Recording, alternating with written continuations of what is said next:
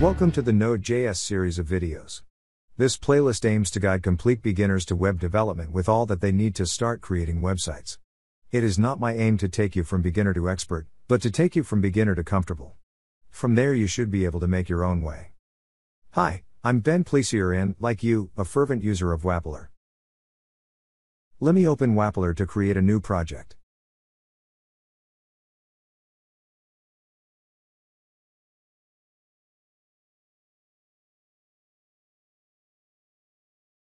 Here I am asked for the hosting type. The default is custom hosting. There are also a few other alternatives. If these other types are unfamiliar to you, then I suggest to stay with the default value. Next, I am prompted for the server model. The choices are PHP, Node.js, ASP.NET, and Classic ASP. Each of these server models require the creation of their own server environments. I will explain these environments in the next section of this video. In this case, I choose, you guessed it, Node.js. Let me take you back to the basics. What happens when you open a web page in a browser? To show this, I start the browser. At this stage, all that we see is the Chrome browser's interface, no interaction with the internet and no web page. When I choose to open a website, I see a fully populated and styled web page. My apologies for opening a half finished site, it still needs a bit of loving care. Aside from that, a lot of activity has happened behind the screen. To see the activities, I right click while on the page and open the Inspect panel.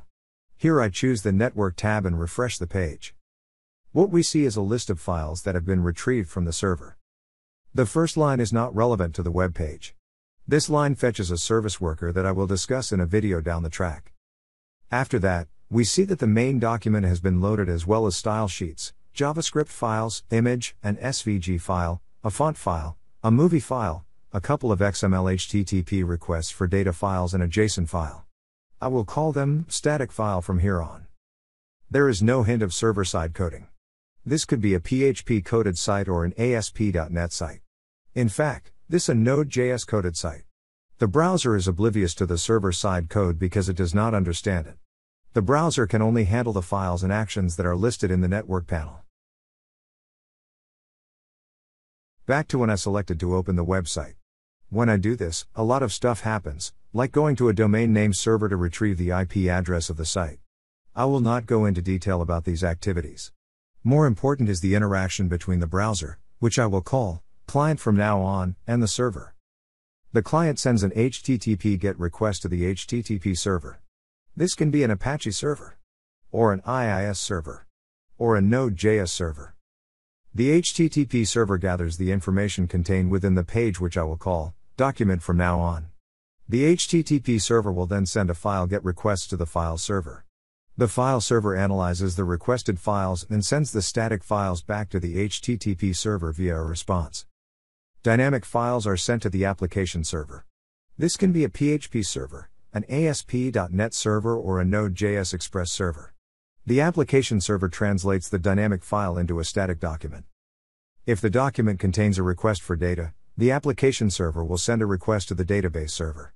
The database will process the database query and send the data to the application server.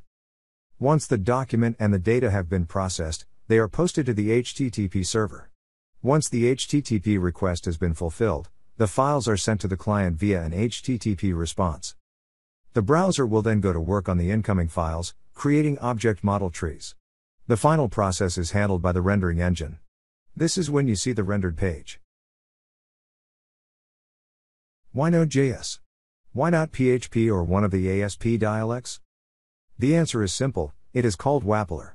Without Wappler, creating a Node.js website would require an in depth knowledge of JavaScript and an extremely long lead time.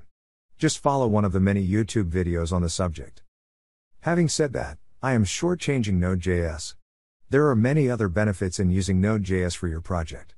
I could write a book on the subject explaining the asynchronous behavior and the lean server environment.